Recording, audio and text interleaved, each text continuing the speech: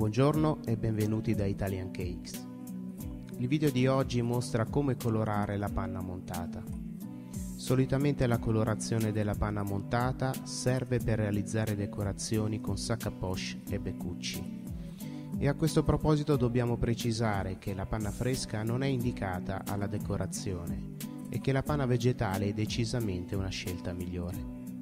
Se si vuole realizzare una torta con panna fresca, la si può usare per la farcitura e la spianatura della torta, per poi utilizzare la panna vegetale per le decorazioni. In questo video abbiamo messo a confronto tre tipi di colorante che possiamo trovare in commercio, il colorante in polvere, il colorante liquido e il colorante in gel concentrato. Quindi prima abbiamo montato la panna e l'abbiamo poi suddivisa in questi tre contenitori. Colorante in polvere se viene mischiato alla panna appunto in polvere può creare degli inconvenienti quindi tendiamo a sconsigliarlo. La panna montata si mischia con un cucchiaio con questi movimenti circolari non con il frullatore per non smontare la panna. E mischiando il colorante in polvere noteremo sempre queste striature che nonostante nostro continuo mischiare si presenteranno sempre. E quindi tendiamo a sconsigliare l'utilizzo del colorante in polvere così come viene fornito. Ma comunque aggiungere dell'acqua e portarlo in forma liquida. Vediamo dopo un po' si formeranno questi puntini se lo utilizziamo appunto in polvere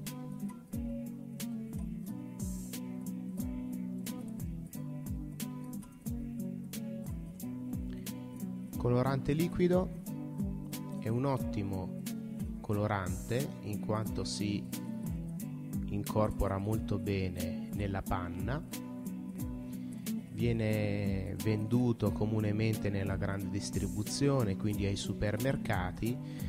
L'unico inconveniente è che il costo è un po' elevato viene venduto in piccole quantità.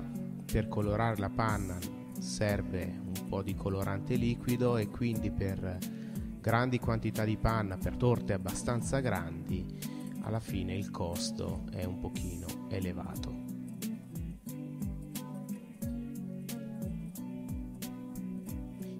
Infine il colorante in gel concentrato viene applicato in piccolissime quantità, come vedete con uno stuzzicadente, ha un'ottima resa anche se il costo iniziale di una confezione può essere sicuramente più elevato rispetto al colorante in polvere e liquido, però alla lunga è molto molto più economico.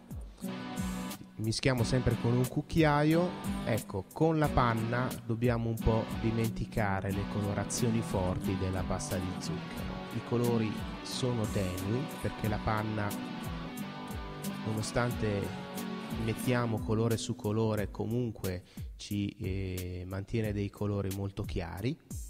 In più se noi vogliamo ottenere delle tonalità forti avremo due inconvenienti. Aggiungendo dovendo aggiungere molto colorante eh, la panna cambierà sapore e con alcuni coloranti diventerà amara e poi la lingua di chi mangia la torta avrà appunto il colore con cui abbiamo colorato la panna montata e quindi tendiamo a sconsigliarla in eh, tonalità molto decise. Può capitare talvolta di acquistare del colorante in gel concentrato che sia particolarmente duro. Basta aggiungere un pochino d'acqua proprio un goccio come potete vedere e mischiare sempre con il solito stuzzicadente.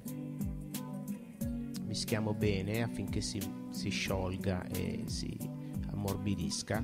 Dopodiché possiamo aggiungere il colorante concentrato alla panna montata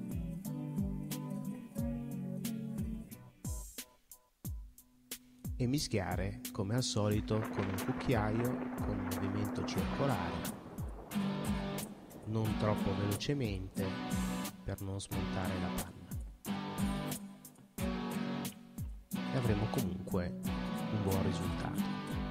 Di seguito vi mostriamo delle immagini di alcune torte decorate con panna vegetale colorata con colorante liquido e in gel concentrato.